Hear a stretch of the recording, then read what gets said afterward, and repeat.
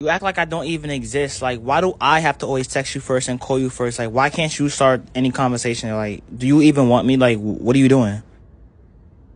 I just be chilling. I really hate when you say that. Like, you really get me so tight with that. Like,